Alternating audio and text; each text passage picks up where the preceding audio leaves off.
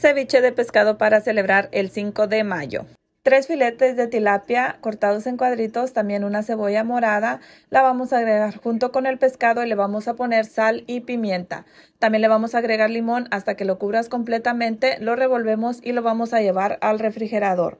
Mientras tanto, en el molcajete yo voy a estar moliendo estos chiles. Estos chiles son de una planta que tiene mi esposo en la yarda, pero al igual también se puede agregar jalapeño o serrano. Y para que le dé mejor sabor voy a agregar el caldo del pescado en el mocajete para retirar todo lo picante que molí y lo vamos a poner de regreso junto con el pescado. Y mientras se termina de cocinar el pescado con el limón, vamos a cortar la verdura. Y voy a empezar cortando dos tomates medianos en cuadritos igual pequeños. También voy a estar cortando tres pepinos. Estos pepinos están pequeños, pero igual tú puedes utilizar el pepino que puedas conseguir. A mí me gusta dejarlo así con la cáscara. Para finalizar solamente vamos a agregar todos los ingredientes juntos y vamos a mezclar muy bien.